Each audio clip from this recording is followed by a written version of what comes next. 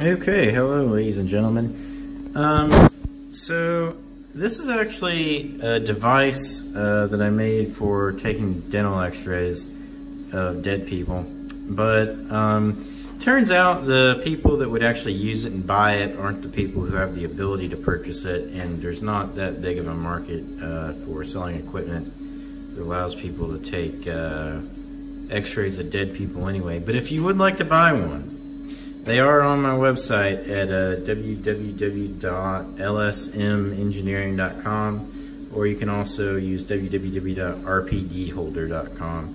Uh, but right now, this is actually what um, the reason I'm showing you this is because this is what I'm going to use. I'm going to clamp my phone in here, and this is what I'm going to use to uh, disassemble uh, or to show you me taking apart this um, switch for this DeWalt drill that broke. Um, so if you want to buy one for that, you know, feel free to email me too. Uh, so thanks. Okay, so this is the drill uh, that broke. and what happened was uh, something in the gearbox like basically sheared off and then it was causing an extreme amount of stress and it got really hot and then it just like seized up and wouldn't move anymore. So um, I was going to take apart this, uh, the control unit. So basically, you know, this is where the battery would connect, and then this went to the motor, and uh, this is the little light bulb that goes on in the front. So um, going to take, took the screw out already, and I was just going to see what, uh, we could see what looks, what it looked like inside of this thing. Okay, so once I took that screw off, uh, basically, you have this diode here, and what that does it saves the, uh, well, it prevents like a voltage spike when you let go of it, uh, because there's a lot of inertia in the, in the motor and whatever, and if you don't have this diode, then uh, you can burn out components. Um, and this little metal, uh, it's actually a copper heatsink, which is, copper has a pretty high thermal conductivity. Um, is, uh, and they got the the thermal paste on here too. It looks like there's a little bit of pink stuff in there. I'm not sure what that's for. Um, it looks like, I don't know what that is. Is that for something arced? I don't know. A little bit of green goo or something. And then this is obviously the main uh, switching MOSFET, which is like uh, what regulates uh, how much power goes to the motor when you, you, press this thing in and out or whatever. Um, so it's really impressive how compact this is, you know, how small the circuit is they're able to put in here with all this stuff. This is the going to be a temperature sensing wire. Um, this is, you know, the positive, well, this, yeah, temperature sensing. This is the positive and negative, um, and uh, from the battery, and this is the output, and you can see that they actually uh, ultrasonically welded these wires onto these tabs. It hasn't been soldered like it was over here. Um, but these are ultrasonically welded too. They didn't solder these, which is kind of interesting. They soldered this stuff, but not the other stuff. Um,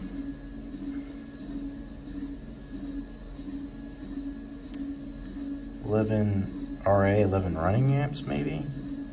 18 VDC. It's a 5 times 4.2 is 21 volts and when it's dead it's got like 3 times 5 15 volts. So I mean 18 is right in the middle there.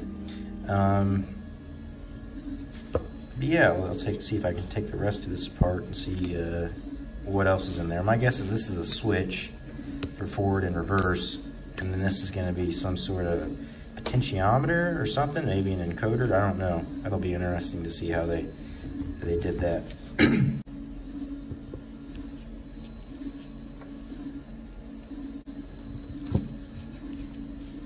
And what 11 amps at 20 volts is um, 220 watts. So that's a fair amount of power from, from a lithium battery.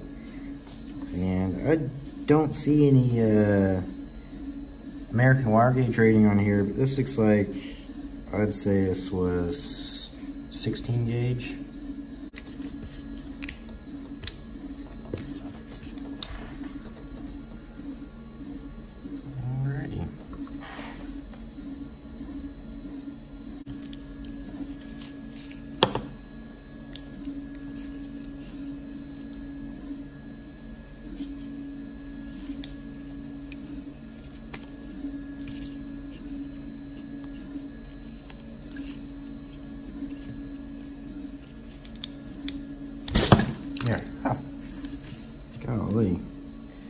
Okay, so I think this thing worked by just, this switch worked by just switching the, the polarity on the output contacts.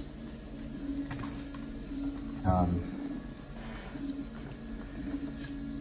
let's see what we got here. Mm. This thing had some wipers on it and a spring. So that obviously pushed in and then these wipers must have run across. I'm guessing that area right there. Focus. There we go, that area right there. Uh, I must have used something to know where that was. Maybe that chip? I don't know. There we go.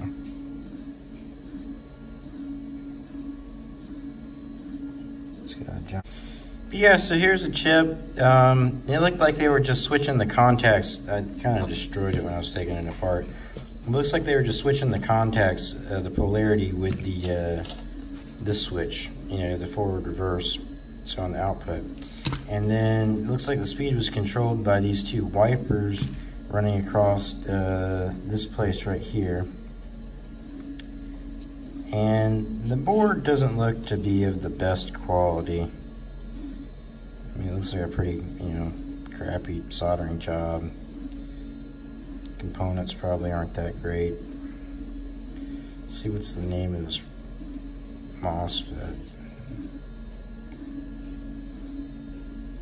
Can you read that?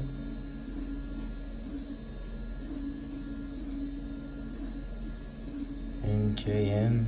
Oh, it's an international rectifier, IR. Alright, so it's a good, good, good MOSFET, but I don't know. The board just, to me, doesn't, it's not like, I don't think it's conformally coated.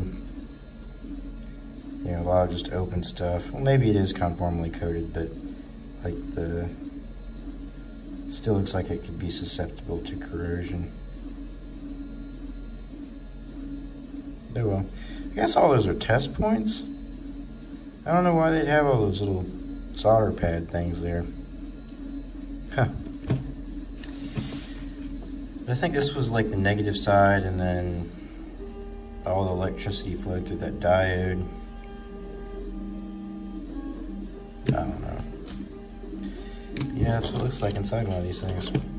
Thanks for watching.